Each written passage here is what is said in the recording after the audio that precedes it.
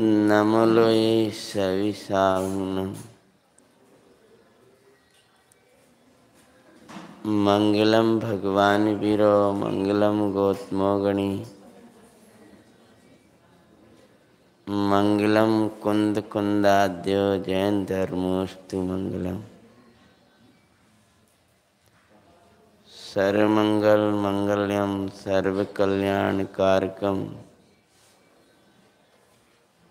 प्रधानम सर्वधर्मानां जैनम जैतु शासनम।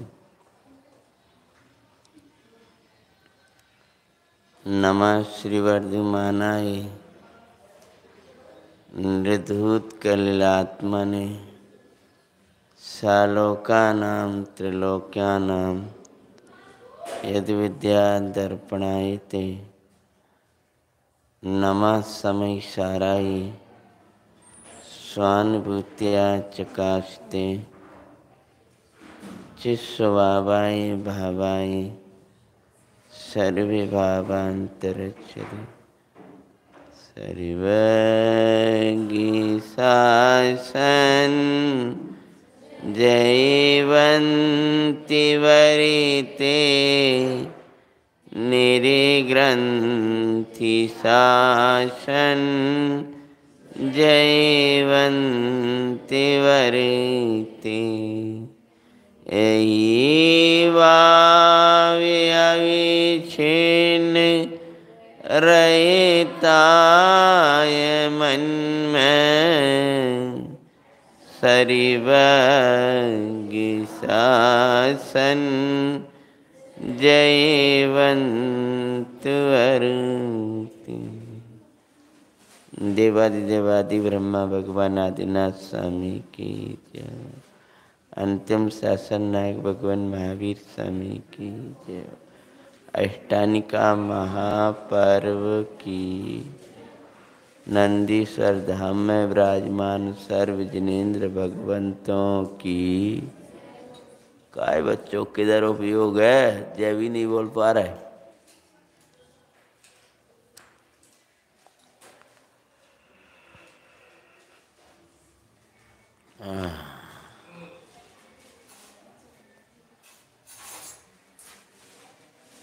बाए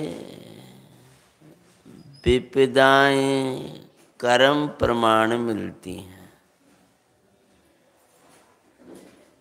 और विपदाओं से बचने का उपाय जिन भक्ति और भेद विज्ञान प्रमाण समझ में आ जाता है।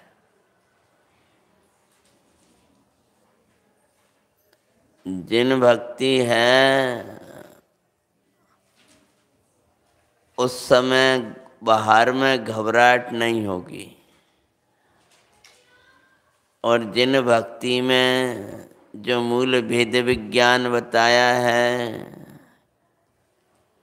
तो उससे भीतर वो भाव प्रवेश ही नहीं कर पाएगा।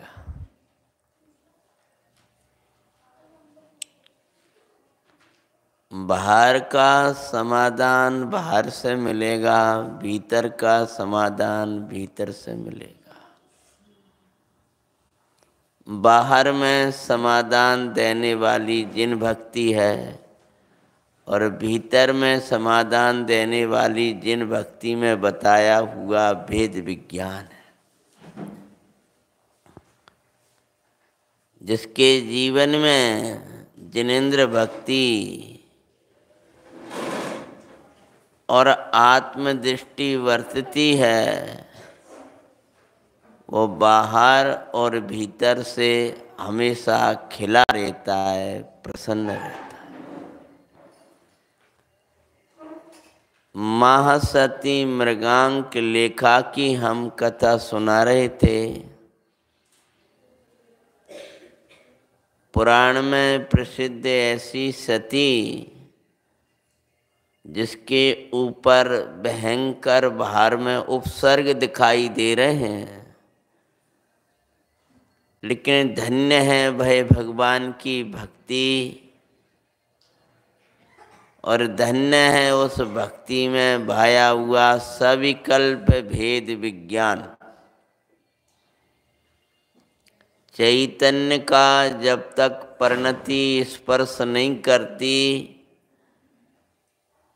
तब तक भय भेद विज्ञान निर्विकल्प धारा में प्रवेश नहीं कर पाता।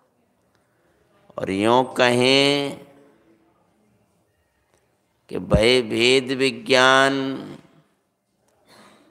निर्विकल्प हो जाता है, तब वास्तविक भेद विज्ञान कहलाता है। अनेक उपसर्ग अनेक घर से निकाल दिया, परिवार ने माता पिता ने शरण नहीं दी, कोई शरण न दे, मना मत देने देना। तुम अपने शरणदाता को सदा याद रखना। कर्म नो कर्म तुम्हारे शरणदाता नहीं है। बाहर में जिनेश्वर नाथ और जिनेश्वर नाथ के द्वारा बताया हुआ है शुद्धात्मा ही मेरा शरणदाता।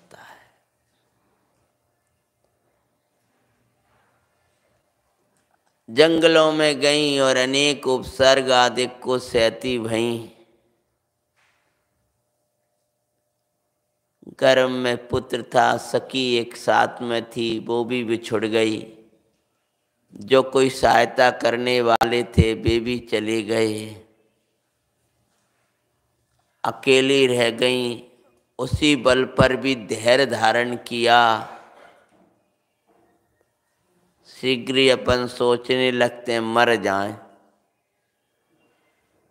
एक भी विकल्प नहीं आया, मर जाए, मार दें। उन्हें मारने से क्या हो जाएगा? मर जाए मर जाए। देह छोड़ देंगे। देह छोड़ने से क्या हो जाएगा? देह दृष्टि लेकर चले जाओगे, दूसरे देह में इतने तन में हो जाओगे, वहाँ कोई सुनाने वाला नहीं मिलेगा।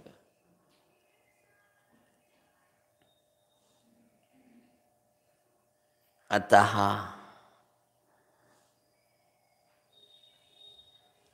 सदा शांतता रखना, जो कुछ हो वो होने दो।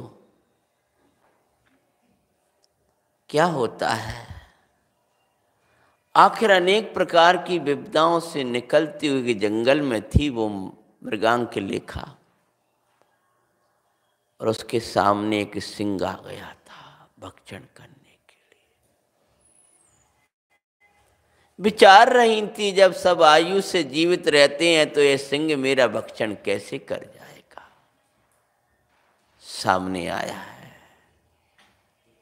सती परमात्मा के ध्यान में खड़ी हो जाती हैं।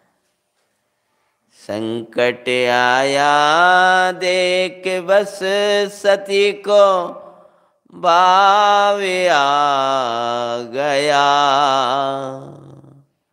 बस एक विकल्प ज़रूर लगाया उस समय। दोष लगाओगा तो सील में ए भक्षण कर जाएगा।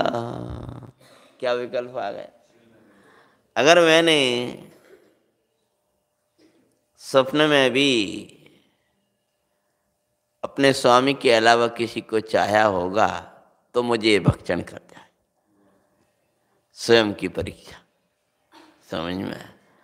अन्यथा ये भक्षण नहीं कर पाएगा। अन्यथा लौट कर जाएगा ये भाव सुआते हैं। मृगांक लेका की हम। जब हमने किसी के साथ बुरा किया ही नहीं तो हमारा बुरा क्या होगा? दौड़ा हुआ सिंह ज़रूर आया, लेकिन निकट सिंह शांत हो गया, प्रदक्षिणा देकर चला गया। क्या? घूमा और मानो वो पुराणकार कहते हैं कि वो वो ऐसे घूमता है ना, कि वो घूम नहीं रहा था, मानो प्रदक्षिणा दे रहा था, ऐसे आया और देख करके ऐसा घूमा। और बिना भोगे करम भी निकट आया, सिंह गया पुण्य की महिमा भाई। अकेले पुण्य ही नहीं था, उसके साथ में क्या था? पुण्य दो, एक तो पवित्रता भरा पुण्य और एक पुण्य का उदय वाला पुण्य। पुण्य का उदय वाला पुण्य कम दिख रहा है, लेकिन कौन सा वाला पुण्य है यहाँ? पवित्रता। सीता जी की अग्नि परीक्षा जो हुई है, वो पुण्य नहीं नहीं कराई। पवित्रता ने कराई थी यद्यपि वो पवित्र परिणाम को भी श्री गुरु पुण्य ही कहते हैं, तथापि वो पुण्य का उदय, सीता जी का तो पुण्य का उदय था तो अग्नि की जल हो गया, पुण्य का उदय था। पुण्य का उदय था कि पुण्य का उदय था? पुण्य का उदय था कि पुण्य का उदय था? एक तो पूर्व के पुण्य का उदय था, एक वर्तमान में पुण्य का उदय था। पवित्रता का उदय था, वो शील का उदय था। वो स्वप्न में भी कभी किसी के प्रति कोई विकल्प नहीं आया, उस पवित्रता का उदय था। सिंह चला गया था। अरे बेनिभोगे, जैसे आया और चला गया। ऐसी आचार्य भगवान कहते हैं, द्रव्यान का सिद्धांत बताते हुए कि बेनिभोगे कर्म खेर गजाए, धर्म की महिमा भाई। क्या बोले बोलो? क्या? वो सिंह ने नहीं खाया, चला गया पुण्य का उदय और कर्म आए भक्षण को उदय के लिए। भावक रूप रूप लेकर के और भाव रूप नहीं हुए। अगली गाथा। बत्तीस नंबर की। हाँ? प्रभु, वो भावक मनो द्रव्य कर्म आया और भाव रूप नहीं हुए। धर्म की महिमा, भाई। धर्म की महिमा मतलब? हाँ अपने को चैतन्य देखता रहा, चैतन्य में रमा रहा, आया और चला गया। करम करम पल से न्यारा, ज्ञानी ज्ञायक बाते हैं। सती मृगांक लेखा की हम कथा सुनाते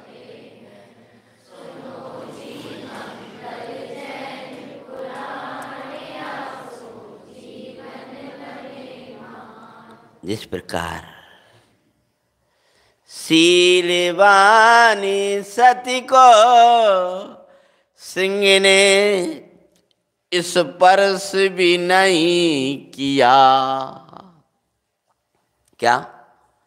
उनकी सील की ऐसा वज्र कवच लगा था कि सिंह ने खाने की बात तो दूर की बात है, उस मृगांक के लेखा को स्पर्श भी नहीं किया। सिद्धांत कोई बता देगा? समय तो वैसे ही कम। बोलो। और स्वभाव में रमी सील मई परिणति को कर्म सिंह ने नहीं छुआ। स्वभाव में रमी हुई है। जो परिणति है शीलवान परिणति है, कर्म सिंह उसको छू नहीं सकता। लके देख उसे भग जाए। जैसे सिंह देखकर भग गया था मृगांक लेखा को, उसी प्रकार कर्म उदय में आएगा। और बोलो, भाग जाएगा। कहो जैसे मृगांक लेखा अपने स्वभाशील में निर्दोषता लिए खड़ी थी, सिंह छू नहीं पाया। ऐसी जो चैतन्य स्वभाव में रमे हैं, कर्मोदय भी आएगा, लेकिन उनको छू नहीं पाएगा, अर्थात उनको राग द्वेष नहीं करा पाएगा। समझ में? देख उसे भग जाए शक्ति आत्म की अचिंत दिखाते हैं।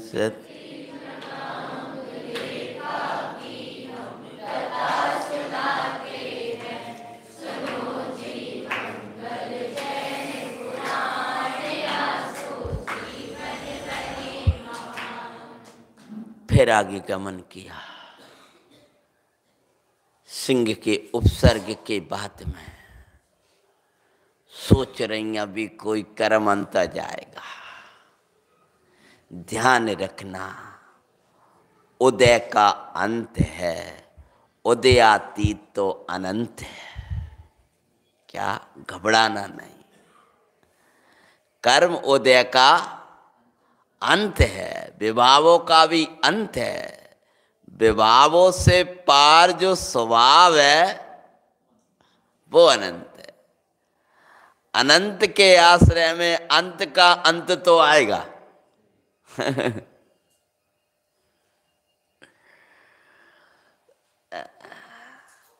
एक के बाद एक चले जा रहे, एक जगह रात्रि रुक गई, और वहाँ एक बैंतरिणी।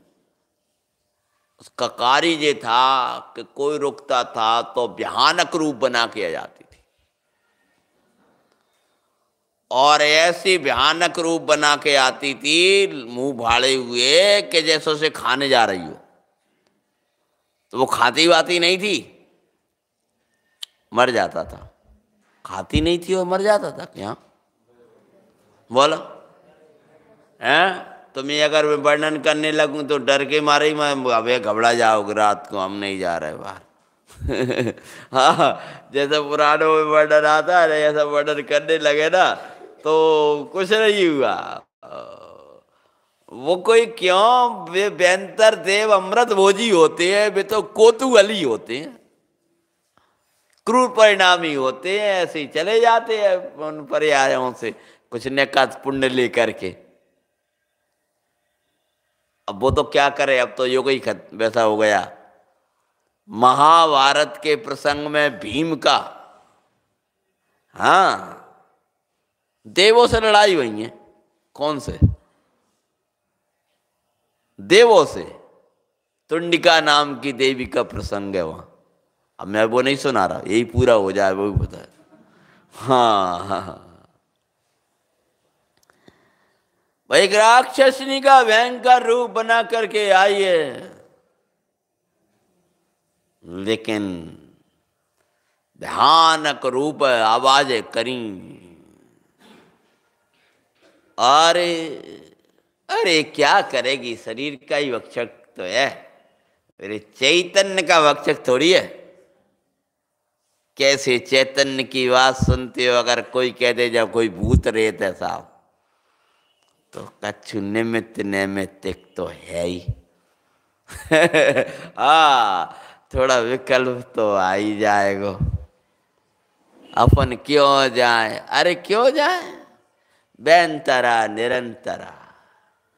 जाओ वहाँ करे, उन्हें अपने जगह बने रह दो, अपन अपनी जगह बने रहो। तो भयानक रूप बना करके आई।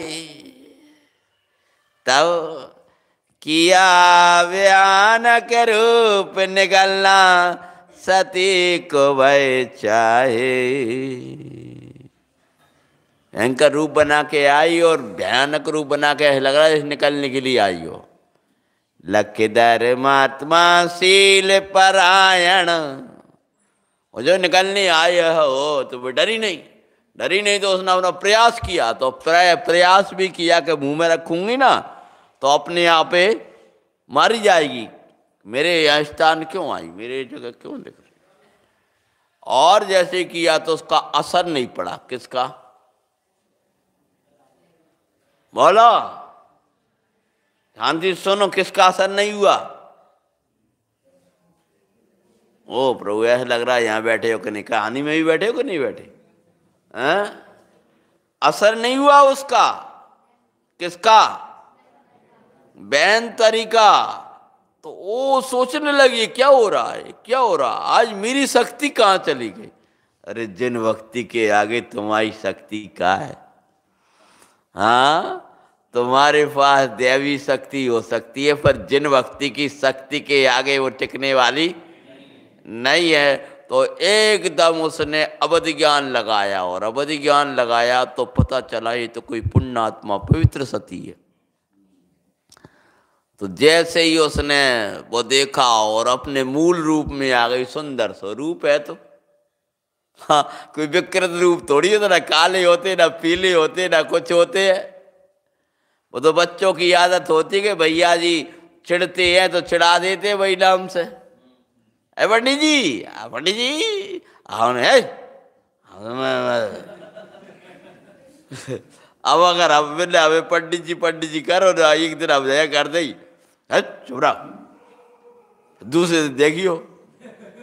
हाँ फिर देखियो दूसरे दिन। हाँ। वो चलो मत ही कुछ भी जो हो कर दो उनको जो करना है, ऐसी वो व्यंतरों से जो चढ़ जाते हैं ना, उन्हें भी मज़ा आता चढ़ा रहे कोतुअली होते? कोतुअली होते। कजू करना उन्हें नहीं, मुझे मज़ा आता है तो डराने भी मज़ा आता है। वही भी खुश होते हैं। क्योंकि ऐसी पर्यायों से गए भी यह तो थोड़े पुण्य ले दूसरों को दुखी देने में वो करने में लेकिन थोड़ा तो कहाँ चले गए? व्यंतर आदिक में चले गए। मैंने तो चंचल चित्त से किया गया पुण्य चंचल पर्याय का कारण जाता है। चंचल चित्त से मतलब क्या? क्या आप बैठे तो वही आप वहाँ तो पुण्य बनेगा। लेकिन कहीं अरे अच्छा पारस भैया आ गए। अच्छा, अच्छा ये भी आ गए। अरे वाह आज तो खूब बड़ी सभा बन गई आज। इधर क्या? ना भगवान देख रहा, ना कच्चू कर रहा है। जय हो जय हो जय हो अब पुण्य बनेगा। लेकिन वो वो वो कैसे चित्त से बद हो तो चंचल तो फिर वो बन नहीं लगा ऐसे पर्याय में भी। बन लगेगा फिर। सभी शिखर जी में बन नहीं लगेगा। वह बन खूब अच्छे अच्छे स्थान मिलते उन्हें। और घूम घाम के भैया जाते जो हल्ला बचा रहे जैसे तो वहाँ बन नहीं लगे बढ़िया स्वाध्याय में अच्छे वाला, छोड़ छाड़ के वही बैठ जाओगी वो वाल में क्या हो रहा हो, कौन चुनाव जीत का कौन क्या कर रहा बेहतर ही पुण्य से बेहतर बन जाते हैं। तो वही फिर क्या होगा, फिर नहीं करेंगे तो नरक चले जाओगे, और क्या होगा तो बात हो रही है पता है सोच ली हाँ जब आओगे नहीं तो मतलब नरक को त्रियाचादिक में चले जाओगे। हल्का पुण्य बनता है, हल्के परिणाम से। जिस परिणाम से तू पूजन आदि हल्के पुण्य से करता है तो हल्के परिणाम है वो तेरे। देखा और पवित्रता को देखा और नमस्कार किया, खड़ी हो गई। धन्य हो तुम। हम तो धन्य तुम्हें धिक्कार है। मृगांक लिखा बोली। कहा ऐसी पावन देवी पर्याय में होकर के भी तुमको यह विकृत रूप बनाने का भाव क्यों आता है? कहा चैतन्य देवता होकर के, अब मैं कैसे पूरी करूँ कहानी? तुम्हें ये राग देश के विकृत रूप बनाने का भाव क्यों आता है? जैसे कहा सुंदर देव होकर के और तुम्हें विकृत रूप बनाते हो। कहा कंठ से तुम्हारे अमृत झरता है और तुम ऐसा कर रहे जैसे खा जाओ। बताओ। ऐसे ही कहा तो सर्वांग में अमृत जराने वाला देव, चैतन्य देव।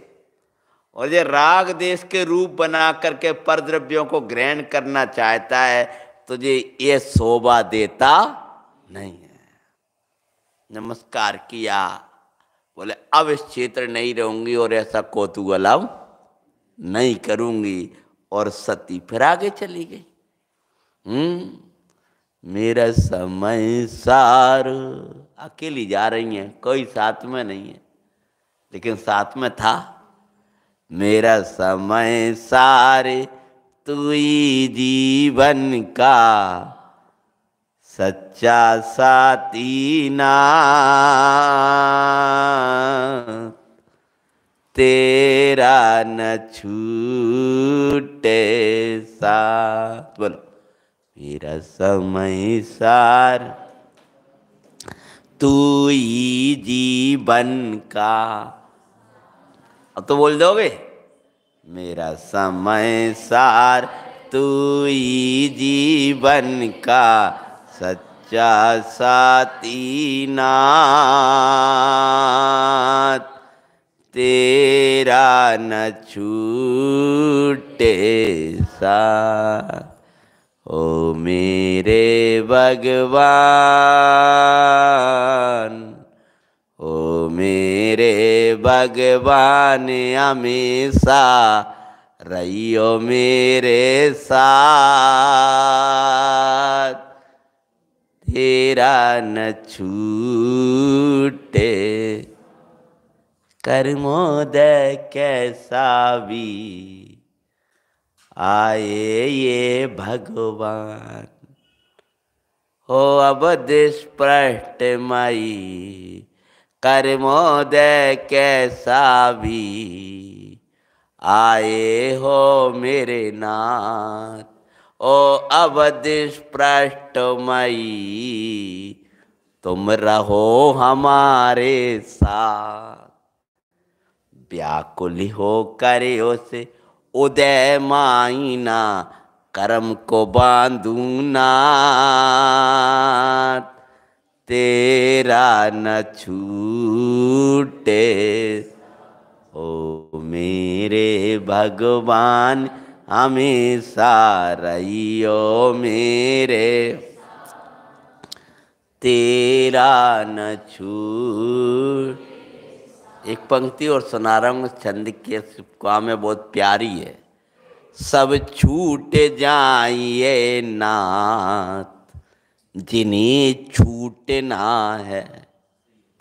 माता, पिता परिवार जन सब, हे ग्रंथ समय सार तू नहीं छूटा तो मेरे से कुछ नहीं छूटा। ग्रंथ समय सार रहेगा तो निर्गंथ समय सार रहेगा। हाँ ये ग्रंथ समय सार है वो निर्गंथ समय सार है? ग्रंथ समय सार की शरण में, निर्गंथ समय सार को जिसने ग्रहण कर लिया, उसको कोई ग्रंथियाँ नहीं रहा करती हैं। जो द्रव्य भावकर्म, नौकर्म कर्म रहित आत्मा दिखाता है, वो ग्रंथ समय सार है, और जो द्रव्य भावकर्म भाव कर्म नौ कर्म आत्मा देख लेता है, वो परिणाम निर्गंथ समय सार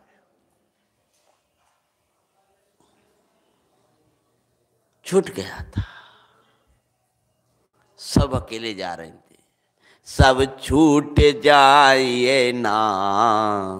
बोलो, जिन्हें जिन्हें छूटना है, सब रूठ जाइए नाथ।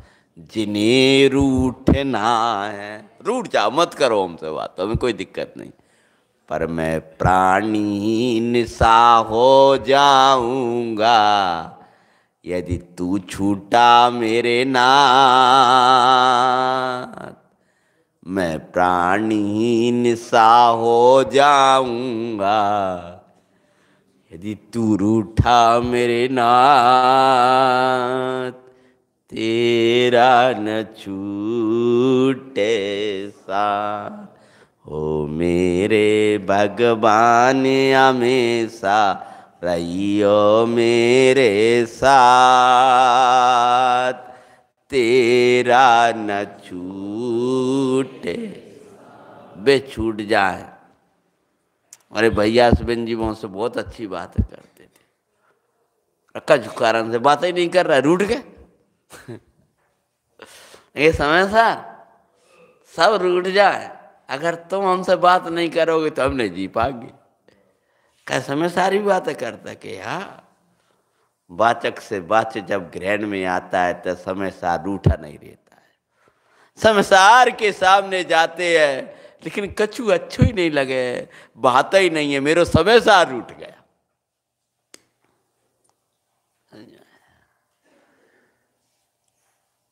पहुँच गई। एक नगर के पास में। उस नगर का नाम था सिद्धार्थ नगर। कौन सा? सती ने विचार किया, उसी नगर की एक बाहर की स्थान पर रुक जाती हैं। और रुखियाँ, हैं, कंकड़ीली भूमि है। उदय की विचित्रता है कहा सेठ की पुत्री और कहा ये दशा? लेकिन विचार रही थी ये उदय, कब तक आता रहेगा, कब तक आता रहेगा, आखिर इसको जाना ही होगा। अपने परिणाम को इतना निर्मल बनाओ, पवित्र बनाओ, कि जो उदय वर्षों का लेके आया हो, वो उदय सेकंडों में चला जाए। अपने परिणाम को विनयवान बनाओ भक्तिवंत बनाओ देव गुरु में बनाओ, शुद्ध आत्मा में बनाओ। कभी किसी के प्रति कोई विचार मत आने दो। मैं तो आज किसी से कह रहा था, किसी को बुरा मत देखो। अपने उसको बुरा देखने वाले अपने परिणाम को बुरा देखो। उस परिणाम की बुराई खूब करो। किसी को परिवर्तन मत करो। अपना परिवर्तन कर लो। कहीं दिख जाए तो मात्र विश्वास मत करना और ज़्यादा ही दिख जाए तो ये कहने लगना, काल की बलिहारी है, इनका इसमें कछु दोष नहीं। कहा हाँ काल की बलिहारी है। तो ऐसे अच्छे व्यक्ति से भी ऐसा दोष हो, ऐसा काम हो जाते हैं। काल की बलिहारी। ऐसा न हो तो लोग छल ग्रहण कैसे करें? क्या होता है?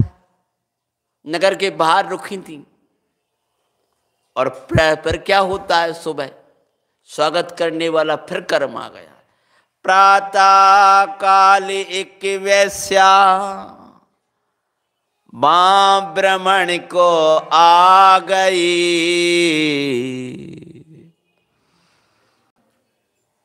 ओ बाहर रुकी थी और एक नगर की वैश्या।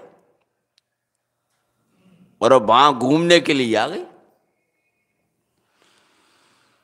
सती का सुंदर रूप लख।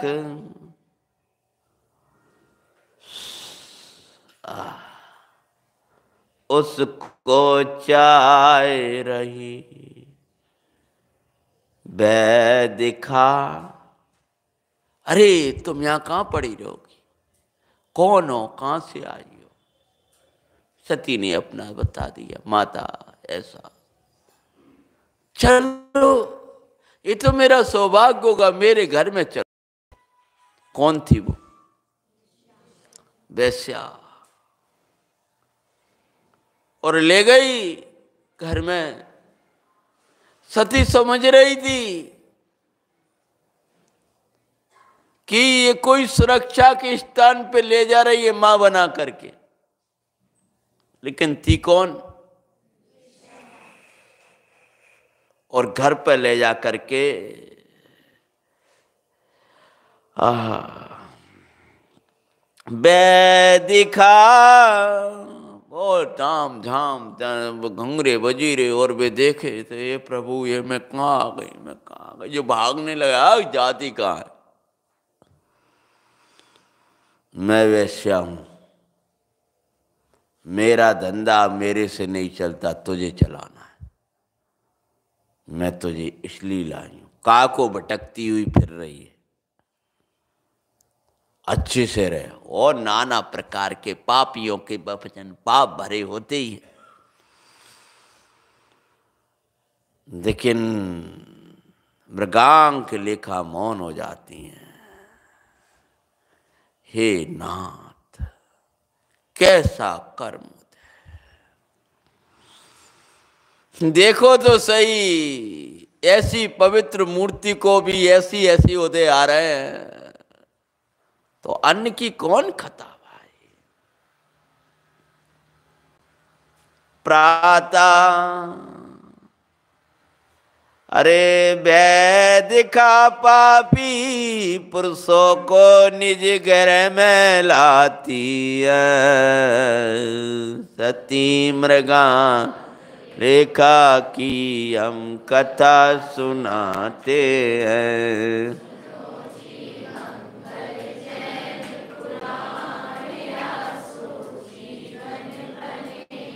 जब उसने फिर वो किया तो अनेक पापी लोग आ गए वैश्या की। आ गए तो सती भयानक रुदन करने लगी ये परमात्मा, मेरी रक्षा करो ये प्रभु, मेरी रक्षा करो।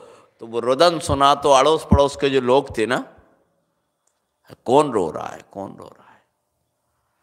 इस सज्जन सी को तुम ले कहा से आई बोली? लोगों ने इधर उधर के जो लोग थे आकर के कहा है? ये मैं हूँ लाई खरीद के लाई क्या बोली? और मैं खरीद के लाई मेरे यहाँ है, तुम्हें क्या करना? कह दो राजा से जा करके। उसकी विचार नहीं वैसे, वे, मृगांग के लेखा की सुने कौन? और वो किसी के सामने बोल नहीं रही थी। बस भगवान की भक्ति में खड़ी हो जाती हैं। लोग उपसर्गे हुए, ओ लोग हुए, कट्टी बोली, मैंने खरीदा इसको भाई, जो करूँगी, मैं ही करूँगी, तुमको परवाह कछू नाई मैं ही उसको शांत करूँगी। तुम क्यों आ गए यहाँ पर? लके उपसर्ग सती पर जिन प्रभु भर को सुमरती सती मृगांक रेखा की हम।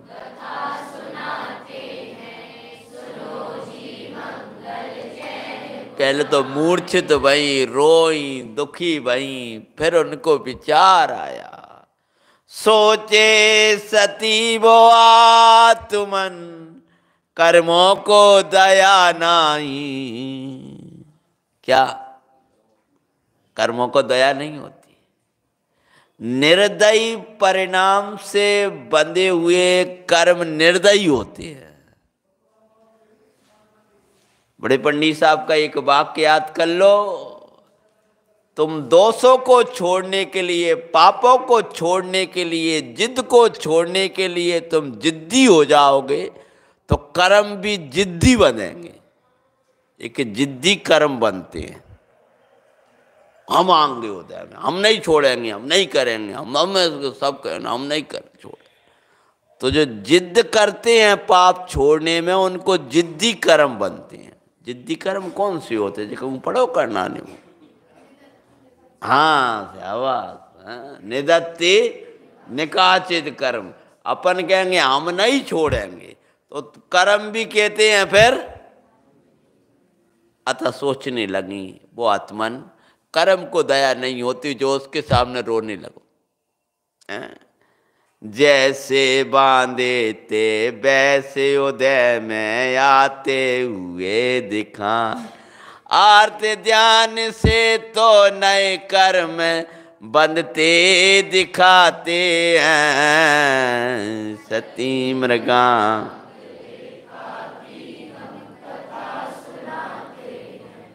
सुनो जी, मंगल जैन पुराण। फिर वैश्या ने उस सती को जंजीरों से बाँध दिया। भाग ना पाए। क्या कर दिया? जब वो सोने और कहीं करने लगी कि ऐसा ना हो मृगांक लेखा की कहानी, है? जंजीरन से बाँध दिया। ये परशील न छूटे, सब कष्ट हो, ये प्रभुशील न छूटे। यही मेरी भावना। वह ने जंजीरों से बाँध लिया, उसने अपने घर में रख लिया और सती मृगांक लेखा छूटी। जंजीरों से और घर में से और भगवान के चरणों में पहुँच गई। कैसे पहुँच गई? जंजीरों से बंधी हुई थी और जंजीरों से छूटकर और वैश्या के घर से छूटकर वैश्यालय से छूटकर जिनाले में पहुँच गई। कैसे पहुँच गई? अरे जो पड़ा है वो पड़ा रहने दो। हाँ बाहर में वैश्यालय था, भीतर परिणामों में जिनाले में पहुँच गई अपने परमात्मा के सामने। तुम ही हो जग में शरण सारे। निरपेक्ष बांधवी हो तुम ही हमारे। आओ आओ तुम्हारी ओ साचेता हे देवादि देव, प्राण भले चले जाए, पर मेरा सील ना जा पाए। आँखों से अश्रु अपने परमात्मा के सामने। आँखों से अश्रु झर पड़े और जो परमात्मा की भक्ति में जिनके आँखों से आँसू झरना शुरू हो जाते हैं, उनके आँखों के आँसू झरना बंद हो जाते हैं। हाँ वे आँखों के आँसू पर रह नहीं पाते हैं, जो प्रभु को अपना मानते हैं। तुम हमारे थे प्रभु जी। तुम हमारे ओ। तुम हमारे रहो मेरी प्रार्थना जिन जिनवर हम तुम्हारे थे। प्रभु जी, हम तुम्हारे हैं। बस तुम्हारे ही रहे यही भावना जिन अपने हैं और अपनों के हैं, दूसरों के नहीं है। हमारा उपयोग अपने आ, हमारा आत्मा अपना है और आत्मा को दिखाने वाले अपने हैं। बस ये प्रभु हम आपके बने भगवान से प्रार्थना करी, उसी समय क्या होता है? मैं आपसे कहूँ ना, भक्ति युक्ति से ऐसे योग बने हैं यहाँ कोई देव का सहायता की प्रसंग नहीं बने इस कथा में। लेकिन देवादि देव साथ में है तो कि देवों की ज़रूरत नहीं है। ऐसी भीषण अवसर के काल में भी कोई लौकिक देव, अमान, कोई बैन कोई चाह बैंतर भवनवासी बेमानिक आदि कोई देव साई नहीं हो पाया। लेकिन हो जाता है देव सहाय क्या सारी सृष्टि बदल दया जाया करती है। भक्ति के द्वारा कल्ला गया था ना, प्रलय करने वाले। सोचे, हे नाथ, रात्रि में वैश्या के घर में बहुत से सिद्धांत छोड़कर कथा ले रहा हूँ मैं। हाँ। हाँ सोच रहा मैं भूल नहीं रहा मैं वो लेना छोड़ रहा हूँ कि जा से जल्दी कथा, कम से कम मेरा परिणाम ये है कि हो जाए तो हो जाए। हाँ। रात्रि के, रात्रि में वैश्या के घर माई एक चोर आ गया। कौन आ गया? रात्रि का काल था। और मार उसे। वैश्या और शोर वोर मचाया सो गल दबा दिया। किसने? बस चोर ने, बस चोर ने दबा दिया कि वो, है? और मार डाला। मारे उसे, सब माल ले गया, पापों का फल आया। नरक चली गई और बाल लुट गया सब। है? सती की बनी बेड़िया देखो, स्वयं वे खुलते पाते हैं। सती मृगांक लेखा की हम।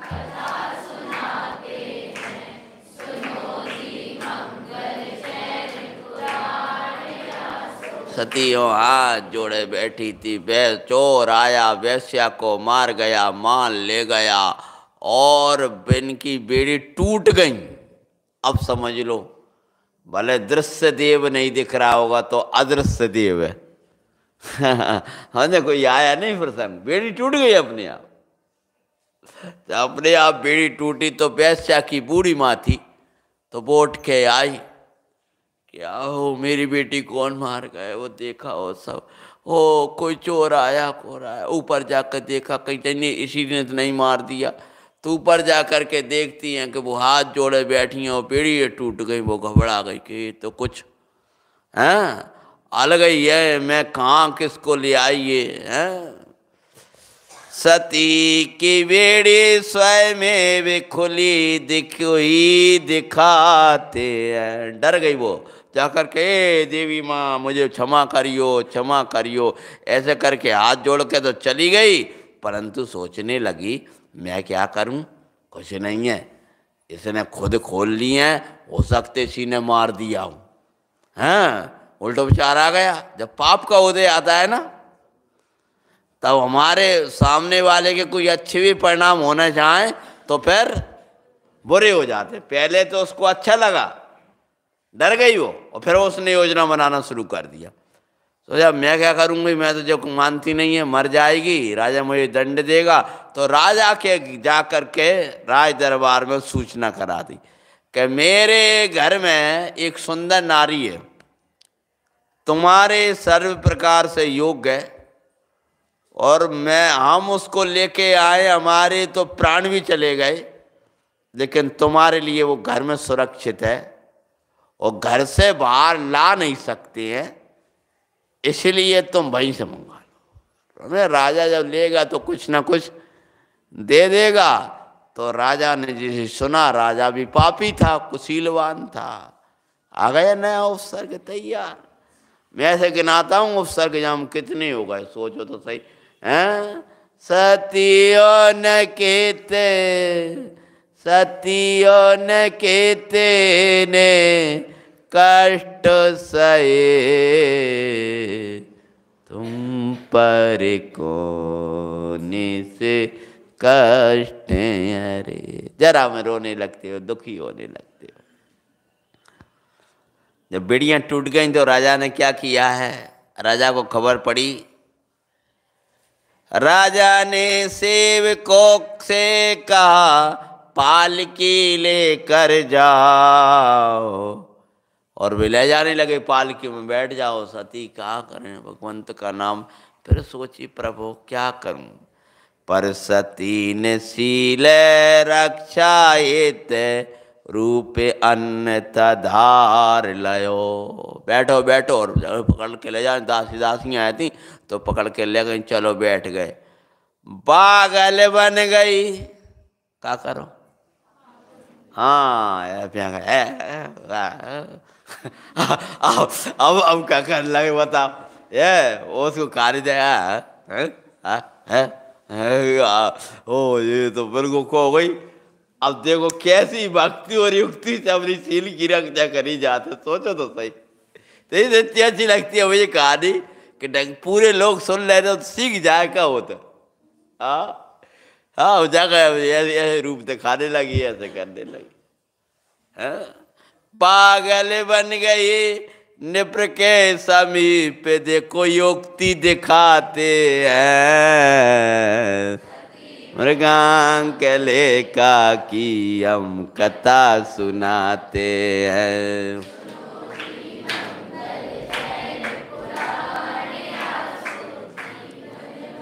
सादा जीवन उच्च विचार बना के जग में रहना। पंडित जी की पंक्ति है ना? मोइयों की दुनिया में तुम मूरख बन कर रहना। दिखावा मत करना। लुट जाओगे? अगर अपने पास में एक करोड़ रुपए है तो पारदर्शी सूट सूटकेस लेके जाओगे?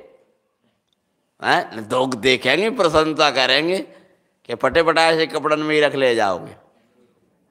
हैं? बस थैला वैसा होगा, नहीं, जब अपन एक करोड़ लेके जाते हैं तो सबको दिखाई देते हैं। तो वाह, सेठ जी, वाह वाह, सेठ जी, वाह।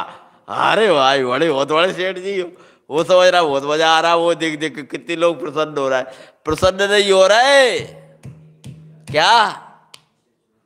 लूटने वाले हैं। विषय चोर तो ठीक ही है। जाओ तो उत्तर बैठे हो भाई तो उत्तर दो, जो उदाहरण दे रहा है। लूटने वाले हैं, बस समझ लीजिए बहुत अच्छे है पारदर्शी जुड़ी सब कुछ दिख रहा है। और एक को कुछ नहीं दिख रहा हो चला जा रहा है। दिख ही नहीं रहा उसकी और कहा। है कोई, गाँव का आदमी वैसे पगड़ी सी लगाए बैठा है और एक करोड़ रुपए रखे पगड़ी में कहाँ? बूढ़ा वाड़ा आदमी वही एक करोड़ रुपए रख के बैठे, और जो फारदर ले। बोलो, कौन लुटेगा? उसकी कोई प्रशंसा नहीं कर रहा? नव बाढ़ विहीन जीवन पारदर्शी सूटकेस है। हाँ ऐसा समझ लियो सात्विक बात तो समझ जाओ तो समझ जाओ। चाहे जैसे पहला और दिखाई जाए पारदर्शी सूट के से ढाके रखना अपने सील रूपी रत्न को। पापी परो सील के रूप के प्रशंसक सील के लुटेरे हैं। श्रद्धे पंडित साहब का वचन है, आपको पद याद होना चाहिए। बोलो एक साथ बच्चों, रूप के प्रशंसक सील के लुटेरे हैं। इन वाक्यों को तो याद कर लो। तुम समझ रहे हो बे, बे, बे सील की लुटेरे है? पागल हो कोई?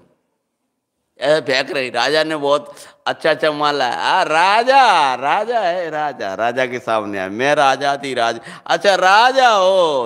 अच्छा ये भी राजा है? पारस ये भी राजा है। राजा के कई पा रूप तो अच्छा है लेकिन ये तो पागल हो गई तो सब वैद्य डॉक्टर सब बुलवाए। लेकिन कोई इलाज ही नहीं बता पाए बोले डबज बढ़िया है दिमाग बढ़िया है सब कुछ बढ़िया हमें महाराज बोले यार पकड़े हुए बिल्कुल बड़े बड़े वैद्य अरे तुम्हारी ये मशीना मशीना करा देख के बता देते। महाराज इसको मुझे नहीं लग रहा पागल है पागल लगती नहीं हम्म, बोले ना लगती तो पागल है लेकिन को को को बोले नहीं लगती तो बताओ। अच्छा डॉक्टर साहब आ गए। अब तो भाई भाषा बोल रहा हूँ उस समय की भाषा तो उस समय की होगी हम तो बच्चियाँ करेगी वो ये नाटक और क्या कभी ना कभी तो करेगी।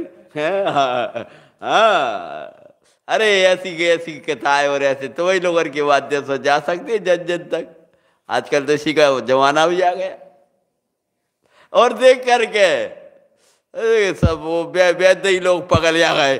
कि तो समझ रही आ रही है भाई भाग्य महाराज के पास से अब फिर क्या होता है, हैं? भक्ति युक्ति सो निज सील की रक्षा करो आत्मन। कैसे भक्ति से। वहाँ भक्ति कर रही थी और राजा के सामने क्या दिखा दी? युक्ति बता दी। आनंद में जीवन इसी में, आनंद में जीवन की सुरक्षा इसी में आत्मन। जग से निरपेक्ष रहना श्री गुरु कहते हाँ सती मृगांक लेखा की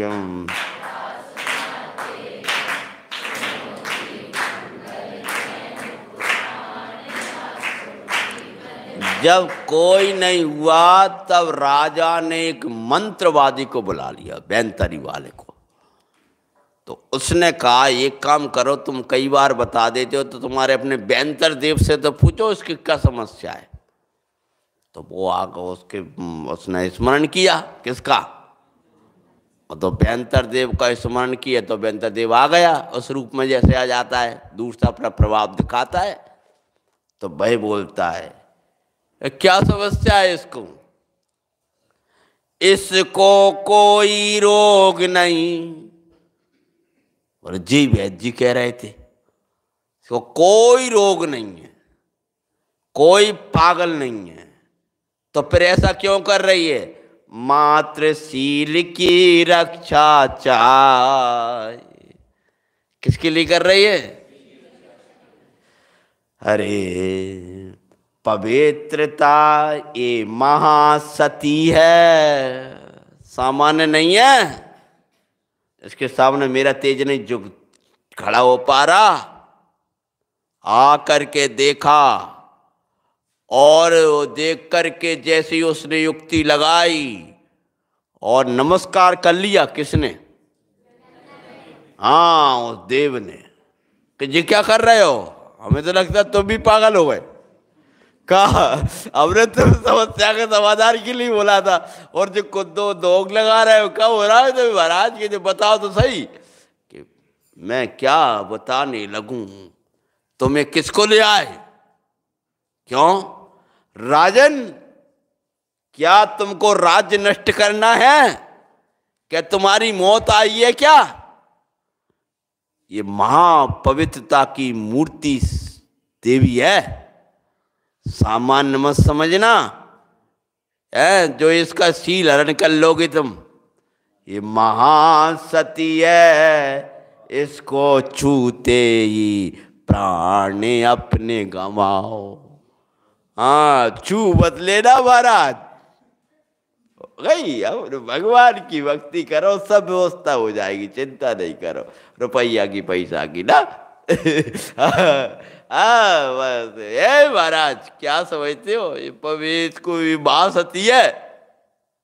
तुम्हारे प्राण चले जाएगी। और सुनो शीलवान के हज़ारों देव सेवक होते हैं। सती मृगा।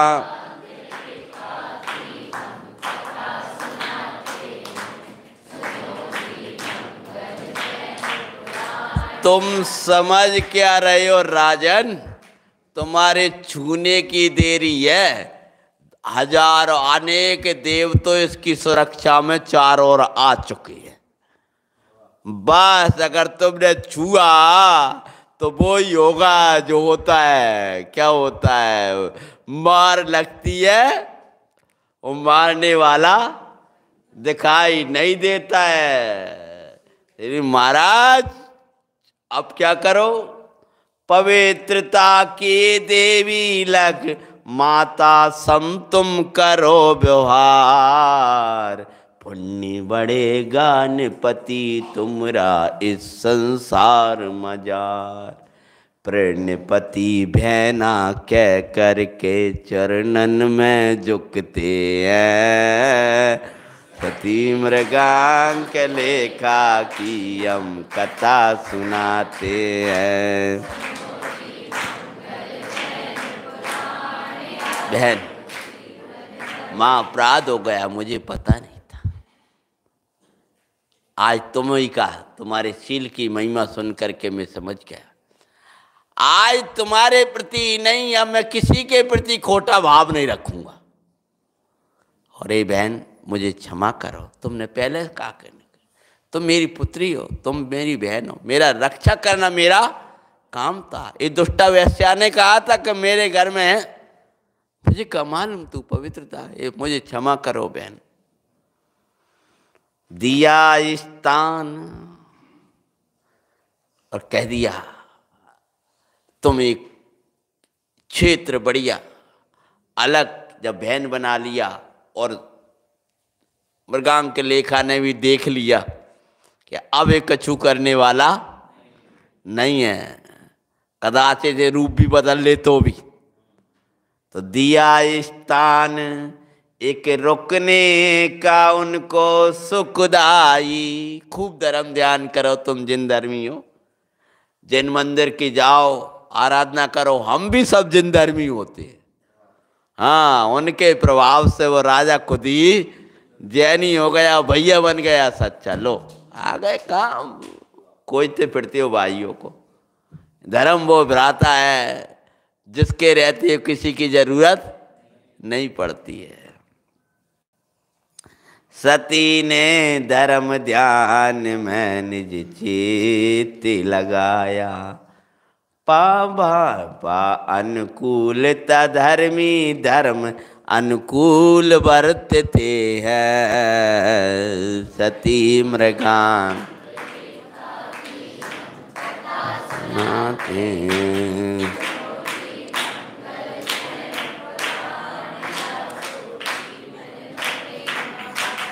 और बार की अनुकूलता मिली तो सती ने और धर्म आराधना बढ़ा दी। खूब मंदिर जाए, धर्म।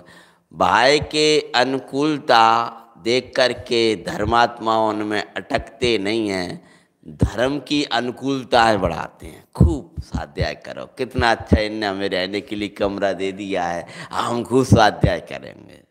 ये नहीं आराम से दे दिया, अकेले हम खूब सोएँगे। हाँ इसके लिए नहीं दिया। और खूब धर्म ध्यान मग्न हो गई। भावना वाया कर देती प्रभु। इससे छुटकारा आ जाए। ये प्रभु आप पधारो। ये गुरु महाराज आप पधारो। मुझे दर्शन दो। एक दिन तो उनकी आँखों में आँसू आ गए मुनराज की याद में। और जैसे ही आँखों आए आवे गुरुवर, याद तुम्हारी। कहीं है ये भक्ति? जिन भक्ति सिंधु। हाँ इसका भी बड़ा प्रसंग है, समय नहीं है सुना नहीं रहा, लेकिन पंडित जी की लिखी हुई है। पंडित जी, तुम्हें किसकी याद आ रही है जब ये भक्ति लिख रहे थे? तो पंडित साहब बोलते हैं, कहा भैया, तुमरे ही सब कोई हो गए, हमारा कोई नहीं है। तुम्हें अपनों की याद आती है तो हमें अपनों की याद आती है। उस समय लिख रहे थे वो भक्ति। हमें लोग सुनाते कि एक भजन लिखा था, भक्ति लिखी थी। दो लाइन तो हमने तभी सुनी थी। आवे मुनिवर, याद तुम्हारी। आवे गुरुवर, याद तुम्हारी।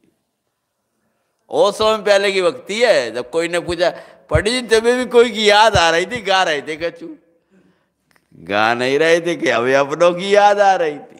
जिन भक्ति सिंधु में देख लियो का कैसी याद आई है उन्हें?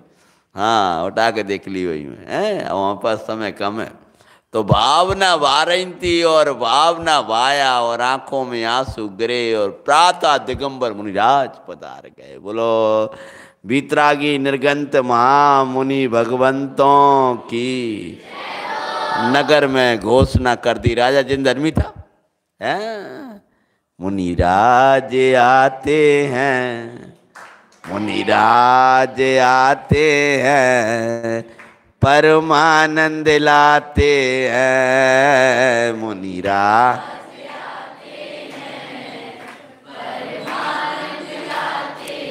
वे समय सार की बरसा वे समय सार की बरसा वे नियम सार की बरसा हम पर बरसाते हैं, मुनीरा।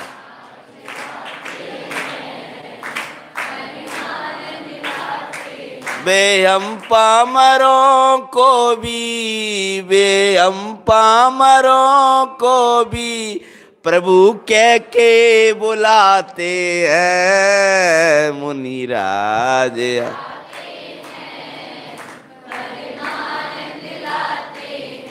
मुनराज आते हैं। फरमान, पूरा नगार इकट्ठा हो गया। महाराज जी के निकट जाकर मन मनराज का मांगलिक उपदेश हो रहा था और उपदेश सुनते समय अंत में मृगांक लेखा ने कहा, गुरुवर, ए सारा मैं किस पाप कर्म के उदय से भुगत रही हूँ? तब मुनिराज बोले बाह्य पापों का वर्णन बाद में करेंगे और तुम्हें पता चलेगा। बाद में कथा आएगी तो। इसका मूल मिथ्यात्व है। हे पुत्री, अभी भी दर्शन मोह तुम्हारा छीन ताकि और बड़ा है, पर नाश को प्राप्त नहीं हुआ है। अतः इस काल में तुम चैतन्य का स्पर्श करके इस मिथ्यात्व बैरी को नाश कर दो, मुनिराज का जब उपदेश सुना है। तभी मुनिवर बोले, मिथ्यात्व इसका मुख्य कारण दिखाते हैं।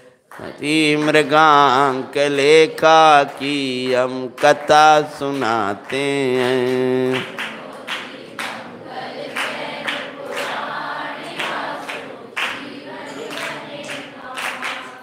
मुंडाज का उपदेश होने लगा। चैतन्य द्रव की अद्भुत अद्भुत महिमा बताने लगे। मैं सब चंद छोड़ रहा हूँ।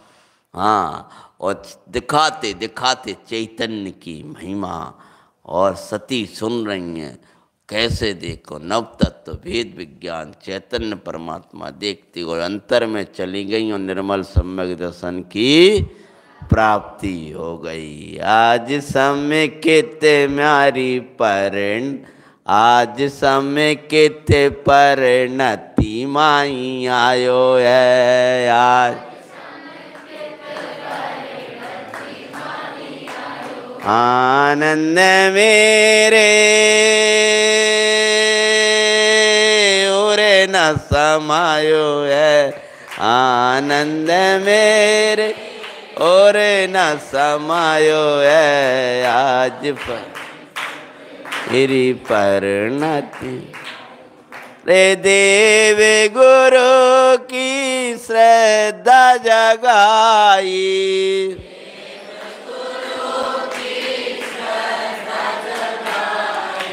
तत्वार्थों की भावना बाई तत्वार्थ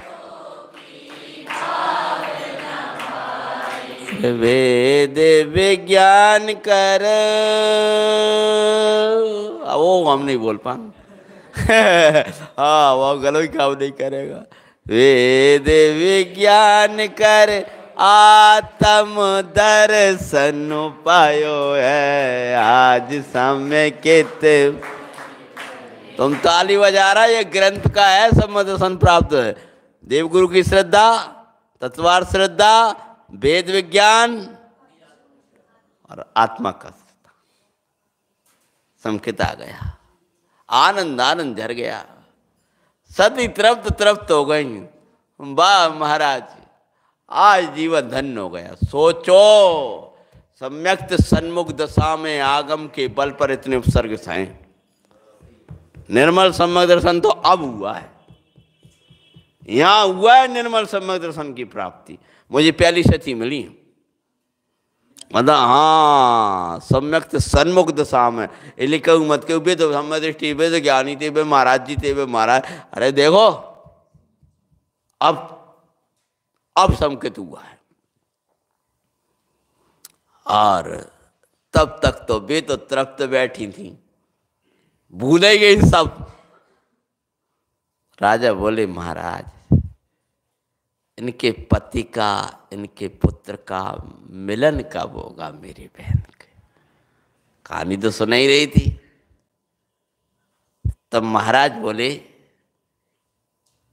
इसके पुत्र पति के मिलन का स्थान है सिद्धार्थपुर की दानशाला। कौन सी? सिद्धार्थपुर की दानशाला में इसके पति और पुत्र का मिलन होगा, जैसे निर्मल उपयोग में चैतन्य का मिलन होता है है कह करके सब समाधान मिल गया। और थोड़े दिन के ये भाई संकट हैं। राजन, ये बहुत पवित्रता की मूर्ति हैं, अंत में आरिका बनेंगी। हो गई कहानी आप, भाई? हाँ। और अभी कुछ दिन और संकट हैं। तो इधर वो तो धर्म ध्यान में निर्विकल्प होकर लग जाती हैं। उधर उनके पुत्र का पालन हो रहा था। एक दे सेठ के यहाँ, उस सेठ का नाम था बई श्रवण। सुरेंद्र दत्त, इतनी योग्यता निकली है कि सुरेंद्र दत्त को राजा राज दरबार में सम्मान होने लगा। और एक दिन का समय था कि राजा को इतना प्रिय लगा वो पुत्र कि सेठ बई श्रवण के यहाँ पर संदेश भेज दिया कि सेठ जी, मुझे आपका पुत्र अत्यंत प्रिय है। मैं अपनी कन्या का विवाह तुम्हारे पुत्र के साथ करना चाहता हूँ। जब ये बात हुई तो खुशियों के सब चारों तरफ़ खुश। लेकिन वो माँ जो थी ना, अभी तक पालन अच्छे से किया। ईर्षा जाग गई। का इसके राज दरबार में सम्मान और इसका मेरे मानो राजकन्या के साथ विवाह ये मर जाए तो मेरा पुत्र का विवाह हो जाए। ऐसे दुष्ट परिणाम आते ही वो सुरेंद्र दत्त को मारने की योजना बनाने लगी और एक दिन उसने तीन लड्डू भेजे। क्या? अब मैं कहानी कहानी सुना रहा हूँ और एक मोड़ तक छोड़कर विराम दे रहा हूँ। तीन लड्डू जब भेजे हैं तो तीनों पुत्रों को भेजे थे। तो दो जो लड्डू थे,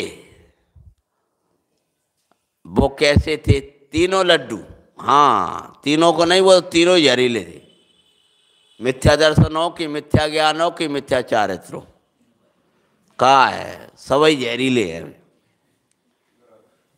तो बोले, बड़े पुत्र को देना विवाह के प्रसंग में खुशी के। बोले, माता ने बहुत सम्मान किया। अब क्या था? जैसे ही वो पहुँचे हैं, वो तीनों मोदक तो वह जो सुरेंद्र दत्त था, देख करके लड्डू। दोनों बालकों ने भी कहा, भैया, थोड़ा सा हमें दे देना। तो सुरेंद्र दत्त बोला, सुनो सुनो सुनो, क्या ये तीनों माता ने मुझे स्नेह से दिए हैं, लेकिन मैं खाने में असमर्थ हूँ। माता के इन मोदकों को मेरा प्रणाम है। बात्सल्य भरा है। क्यों? जहर का पता नहीं चला था। मेरा नियम है। अब क्या नियम है भैया? हाँ मैं बच्चों की भी डांट क्या हो रहे हाँ इसलिए अभी अभी तो भाग जाओगे। हाँ। इसलिए भैया कल कोशिश करेंगे, हो जाए तो हो जाए। और मृगांक लेखा के तो संकट दूर हो ही गए, क्या नियम है? एक नियम भी मरने से बचा देता है। एक उपवास के काय के नियम है और का पता चला है? कथा में यथावत लेंगे। सती मृगांक लेखा की हम कथा सुनाते हैं।